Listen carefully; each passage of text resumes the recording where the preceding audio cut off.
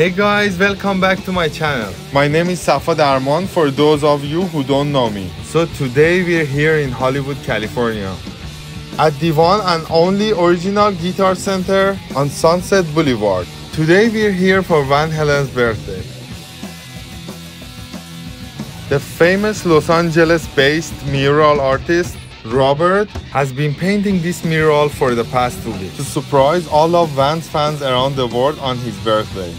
So guys, here we are for the big reveal. And I hope you guys enjoy. So thank you for watching this episode of my Van Halen birthday special. If you wanna watch more shows like this, don't forget to subscribe down here and hit the like button. Also hit the bell next to the subscription button.